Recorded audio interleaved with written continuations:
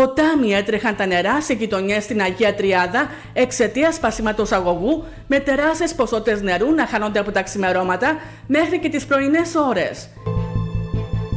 Εικόνες που προκάλεσαν την έντονη αγανάκτηση τιμωτών, οι οποίοι καλούσαν τη ΔΕΙΑΙ, χωρίς όμως αποτέλεσμα. Είχαν πλημμυρίσει, κατέβαιναν οι λάσπες, πλημμύρισαν οι δρόμοι, ο κόσμος φοβήθηκε, βγήκε, άρχισε να παίρνει τηλέφωνα την αστυνομία, την πυροσβεστική, τη ΔΕΙΑΙ. Το πενταψήφιο της ΔΕΙΑΙ παρέπεμπε σε άλλο νούμερο που δεν απαντούσε.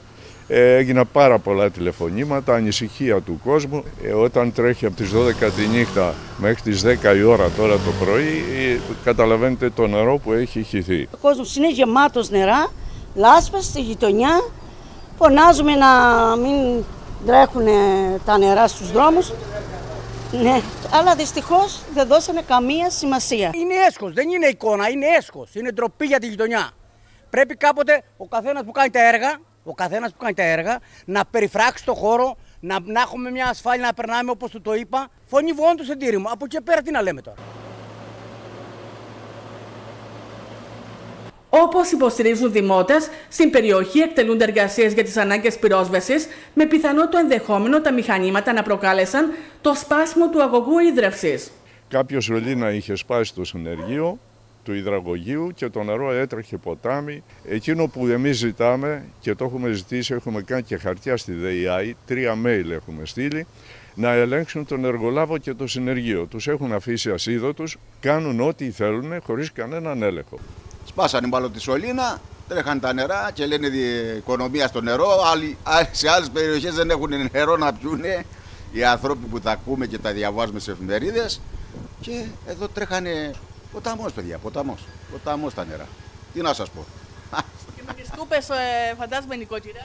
Άστα, άστα, άστα, άστα. Όλη νύχτα κρίμα στο νερό που χάθηκε. Κρίμα στο νερό που γιατί μα το στερούν από εμάς. Το πληρώνουμε και, και πληρώνουμε. Ναι, πληρώνουμε κιόλας το νερό. Αμαρτία από το Θεό είναι αυτό το πράγμα. Αμαρτία από το Θεό να μην έχουμε νερό.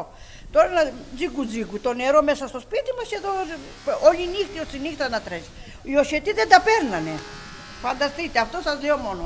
Δρόμοι και πλακόστρωτα γέμισαν από νερά και λάσπες και με την αγανάκτηση των δημοτών να χτυπά κόκκινο με φόντο τα φρεάτια απορροής ομβρίων, τα οποία σκεπάστηκαν από χώμα. Και είναι ανεπίτρεπτο ότι ε, μια εσχάρα συγκέντρωσης των νερών την έχουν γεμίσει με, ε, με χώματα και την έχουν θάψει. Καταλαβαίνετε τι θα γίνει στη συνέχεια. Αυτό που οι κάτοικοι νιώθουν εδώ είναι ότι είναι ανυπεράσπιστοι ε, σε κάθε πρόβλημα που μπορεί να υπάρξει γιατί δεν υπάρχει αντιμετώπιση από τους αρμόδιους κάθε φορά.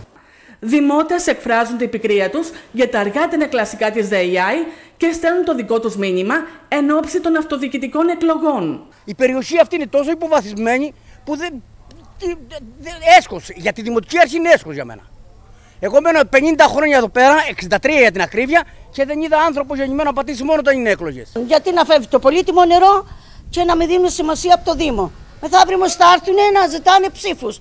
Και θα βγουν να κάνουν, να λένε και να.